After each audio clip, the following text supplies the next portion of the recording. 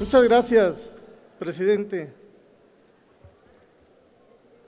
Compañeras y compañeros diputados, como chiapaneco, creo que los eventos que aquí ya comentaron varios compañeros diputados han lastimado mucho al estado de Chiapas.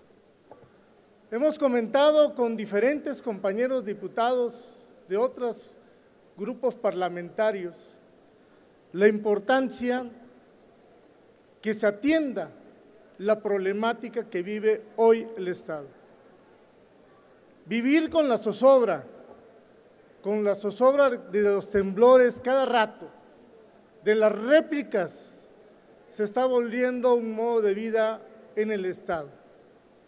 El miedo, el miedo a lo que ya pasamos el jueves anterior.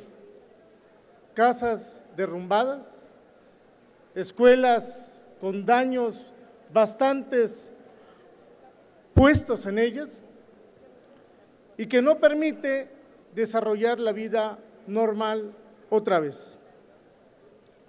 En el PAN nos sumamos a este acuerdo de la Junta a favor de damnificados en Oaxaca y Chiapas. Asimismo, la semana pasada ha dejado daños inestimables en perjuicio de la gran parte de la población de los estados de Chiapas y Oaxaca. Las graves consecuencias de este tipo de fenómenos naturales requieren de la sumatoria de esfuerzos más allá de colores partidistas con la finalidad de atender de manera puntual la situación de quienes hoy lo han perdido todo. Los múltiples daños que ha dejado el terremoto se traducen en la pérdida de patrimonio de diversas familias mexicanas, lo que a todas luces requiere la respuesta eficaz para asegurar la debida reparación de los daños.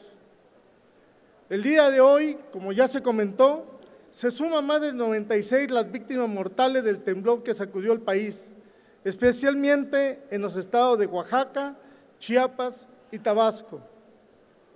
En los tres estados hay miles de personas damnificadas, así como viviendas y escuelas destruidas.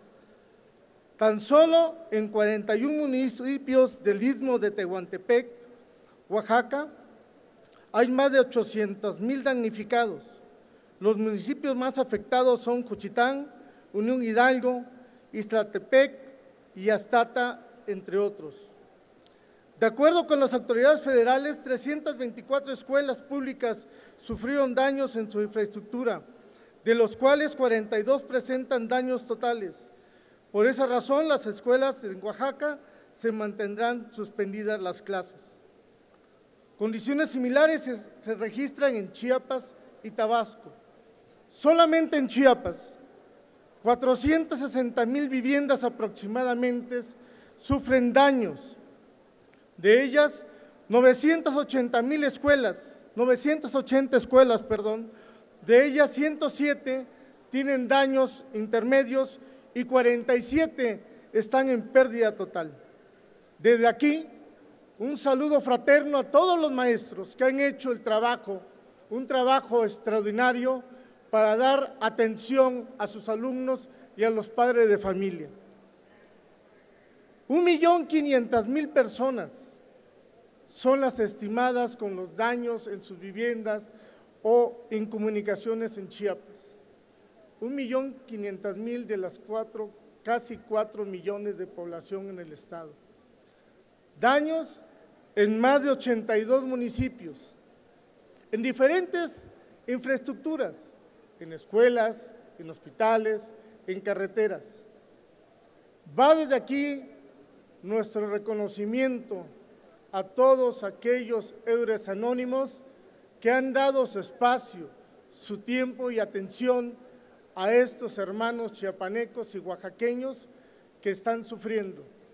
Va desde aquí nuestro reconocimiento a todas las autoridades, a todas las autoridades que han puesto su mejor esfuerzo en atender a la población en esta desgracia. El grupo parlamentario del Partido Acción Nacional se suma al expuesto en este acuerdo en el Pleno, conocimiento de que de aquí lo que aportamos no será suficiente, pero servirá para aligerar el dolor de quienes perdieron algún familiar. Hoy hacemos desde esta tribuna un llamado a la solidaridad de todos los mexicanos que se acercan a los centros de acopio a donar lo que estén en sus manos, a las autoridades que digan en específico qué es lo que les hace falta. Nuestros amigos de las zonas afectadas en Chiapas y Oaxaca necesitan de un esfuerzo solidario de la sociedad para salir adelante. Hacemos nuestro, un llamado al gobierno federal y a los gobiernos de los estados para poner lo que esté de su parte en materia, en materia de recursos para que las comunidades se levanten y puedan volver a lo más pronto posible. Por su atención, muchas gracias.